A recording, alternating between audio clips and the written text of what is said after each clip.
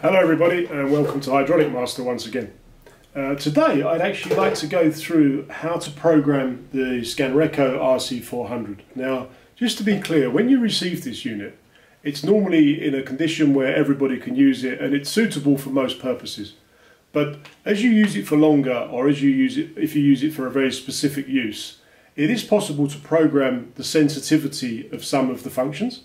Uh, and that's what I'd like to show you how to do today. Now, just to explain, there are many different things you can actually program.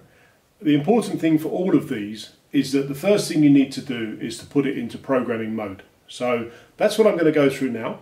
And then we're going to make separate videos for each of the things that you can actually adjust. So this first video now is just going to be programming mode. Um, if you're if you've already watched one of the other videos and thinking this is not working, it's because you need to watch this video first. Of course, I will reference the programming mode for Scanreco video at the start of each of the others.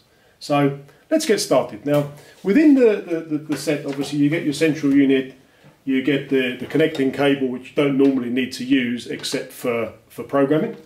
Of course, you get your Scanreco unit that you, will be familiar with. Um, and you do get instructions, so you get instructions on how to do this. And today in the video, I'm actually going to go through these line by line uh, and just talk through maybe anything we've seen or maybe it's not clear, just so you've really got a, a first-hand understanding of how to do this programming. So let's get started. So what's it telling me here?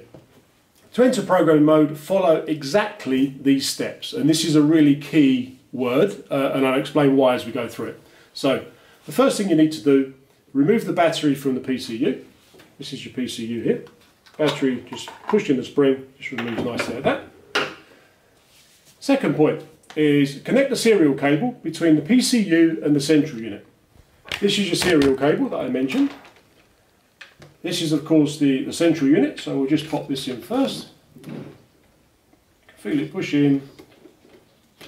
That's it, gently tighten it in there. That's it nice and firm, okay. Let's do the other end here. Into the side of the, um, the PCU here. Just get my hand the other way around. Okay. Just twist it a few times and just push it in to make sure it's nice and, and snug in position. Okay, that's all good. Now, next step we've got here. Um, press the emergency stop button on the crane and on the PCU. Now when it's talking about crane, that clearly can be any piece of equipment that you're using your Scanreco with. So make sure you put the emergency stop button on your equipment and of course the one here, the big red button of course. Um, and then release the emergency stop button on the crane and on the PCU. So again, this is a really important step that you mustn't skip. So release your emergency stop on your crane and again here, just by twisting it, making, that's pop, making sure that's popped up, okay? Then turn on the central unit in remote mode. If you look here, on your central unit, it's in the off position at the moment, which is in the middle. The down position, which is manual, is normally the position that you, uh, you can use uh, this unit in sometimes, but we want remote, which is actually slipping up. There's a little diagram there to explain that. I'm not sure if you can see it on the video but we just move that into remote mode by lifting it up there. Now, this is something I believe has been skipped, and it's important that we, we mention it. At this point, you need to then put the battery back into this unit. Now, that is not mentioned in these instructions. The reason we know it's important is because in a moment we're going to be looking for an LED light on here. That is never going to happen if there's no battery. So I've installed the battery at this stage. I believe that's the best stage to do it. Um, if you've got any comments on that, feel free to, to let us know. And I know uh, Scanreco and Faber, uh, you guys watch this video, feel free to, to feed back to us. Okay?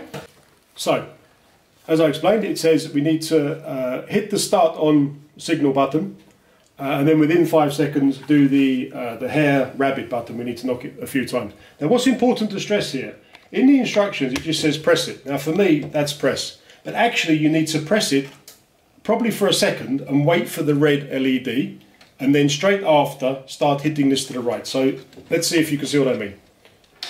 LED and then you get the tone, okay? So it's really important, press, wait for the light, then quickly do this. Now we get this constant tone.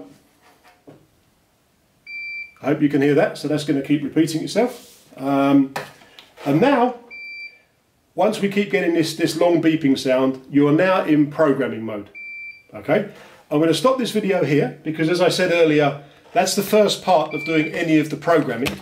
And then we'll make individual videos depending what you want to do for these different levels of programming within the instructions. As always, I hope this has been helpful and I'll see you in the next video depending what you're trying to program. Thanks very much, see you soon.